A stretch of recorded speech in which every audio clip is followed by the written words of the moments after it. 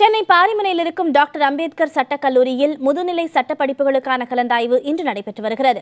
இந்த கலந்தாய்வை சட்டத்துறை அமைச்சர் சி வி சண்முகம் தொடக்கி வைத்தார். தமிழகம் முழுவதும் இருக்கும் ஏழு சட்டக்கல்லூரிகளில் ஐந்து சட்டக்கல்லூரிகளில் முதுநிலை சட்ட படிப்புகள் உள்ளன. மொத்தமுள்ள நூற்று அறுபது இடங்களுக்கு அறுநூற்று ஐம்பத்து ஆறு பேர் விண்ணப்பித்தனர். அவர்களில் நூற்று தொன்னூற்று ஆறு பேர் இன்று ஒருநாள் மட்டும் நடைபெறும் இந்த கலந்தாய்விற்கு அழைக்கப்பட்டுள்ளனர். முதல் பத்து இடங்களை பிடித்த மாணவர்களுக்கு ஒதுக்கீட்டு கடிதங்களை வழங்கிய அமைச்சர் நாட்டிலேயே தமிழக சட்ட பல்கலைக்கழகத்தில் மட்டும் அதிகபட்ச ஆராய்ச்சி மாணவர்களாக அறுபது பேர் பட்டம் பெற்றிருப்பதாக தெரிவித்தார். நான் என்னோட யூஜி ஸ்கூல் ஆஃப் எக்ஸலன்ஸ் லாவில் பண்ணேன். அண்ட் இங்கே இப்போதைக்கு LLM counselling doctor Ambedkar law காலேஜ்க்கு வந்திருக்கேன்.